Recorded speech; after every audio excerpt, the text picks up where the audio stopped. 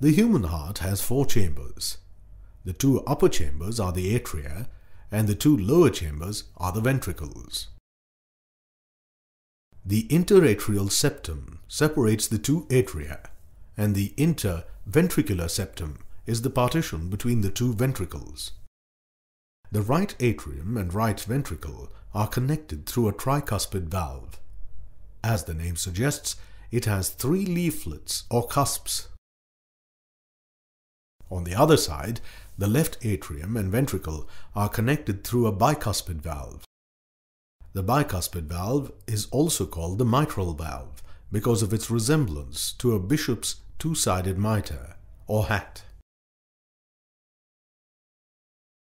The leaflets of these atrioventricular valves are connected to fibrous tissue called the chordae tendineae, which in turn are attached to papillary muscles. Contraction and relaxation of these muscles make the valves open and close. There are also valves at the opening of the pulmonary trunk and the aorta. These are called the pulmonary valve and the aortic valve, respectively. Because of their crescent moon shape, these two valves are also called semilunar valves. The characteristic double-up sound of the heartbeat is produced during the closing of the heart valves. The thickness of the walls of the four heart chambers varies with their functions.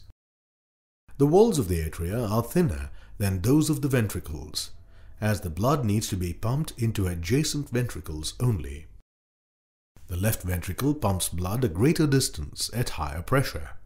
Therefore, the wall of the left ventricle is thicker than that of the right ventricle. The sinoatrial node, atrioventricular node, bundle of HIS and Purkinje fibers represent the specialized cardiac tissue. These fibers are autoexcitable as they have the potential to generate electrical activity without any external stimuli. This makes the heart beat continuously.